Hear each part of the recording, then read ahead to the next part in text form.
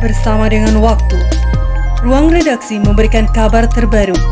Sultraline hari ini.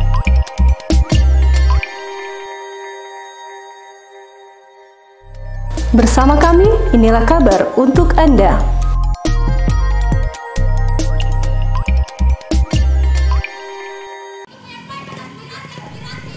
Inilah puluhan orang yang tergabung dalam Serikat Pemuda Rakyat Tongkuno Raya, Kecamatan Tongkuno, Kabupaten Muna, melakukan aksi unjuk rasa dengan memblokade jalan depan Pasar Sentral Wakuru dan di depan SPBU Wakuru, Kecamatan Tongkuno, Minggu 7 Juni 2020.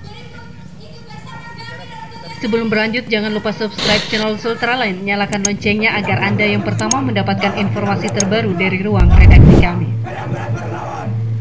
Aksi ini menuntut adanya klarifikasi dan kejelasan kepada pemerintah Provinsi Sulawesi Tenggara.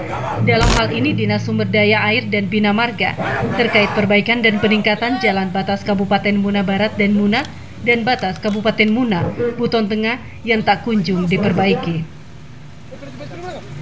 Jenderal Lapangan Muhammad Sidik mengungkapkan dalam orasinya bahwa kerusakan di jalan Kecamatan Tongkuno telah meresahkan masyarakat. Pasalnya pemerintah pusat maupun daerah belum memberikan kejelasan terkait perbaikan jalan di Kecamatan Tongkuno. Terlebih lagi, kerusakan jalan ini telah memakan banyak korban dan sampai saat ini belum ada tidak lanjut dari pemerintah terkait. Dalam aksi unjuk rasa ini, Serikat Pemuda Rakyat Tongkuno Raya yang tergabung dari berbagai elemen pemuda, pelajar, mahasiswa maupun masyarakat menuntut agar pemerintah segera memberikan kejelasan dan tindak lanjut terkait perbaikan jalan. Mereka juga mendesak pemerintah Provinsi Sulawesi Tenggara, Dinas Sumber Daya Air dan Bina Marga segera melakukan perbaikan jalan Kecamatan Tongkuno. Masa aksi juga mengharap apa yang menjadi tuntutan mereka diterima dan ditindaklanjuti oleh pemerintah Sulawesi Tenggara, DPR RI, Presiden, dan semua pihak yang bersangkutan.